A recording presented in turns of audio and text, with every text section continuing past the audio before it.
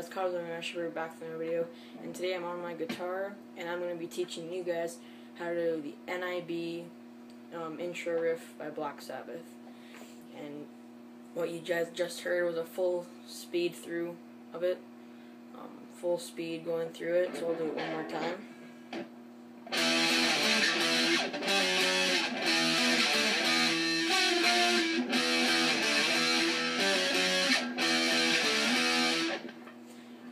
Really all you're doing in this intro is just a two finger power chord. And you want to start on the your pointer finger on the uh, second or the fifth string. And then your ring finger on the uh, fourth string. And you just want to do that two times and you're keeping your hand in this formation the whole time. There's no different um, chords than this. So then you go, then you go down two frets, and then back up two frets. So that first part goes like this. Then you go up to the 10th fret, then down to the 9th. There you go. So, one more time. So, what we've just learned, and this is about half speed.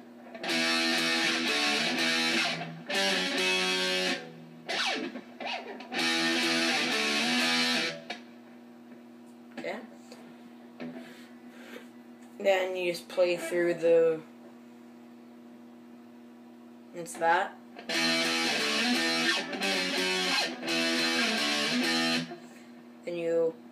Up to the third and second string on the ninth fret.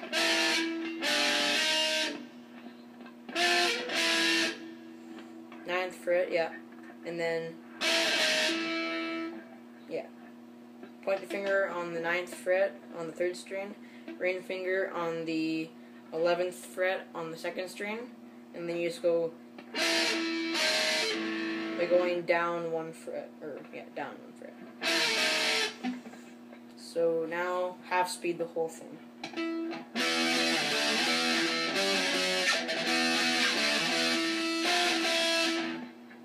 Okay?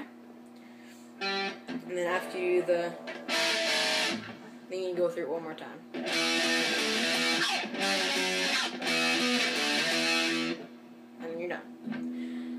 Um, so I'll do one more time full speed full speed for you guys. And uh yeah.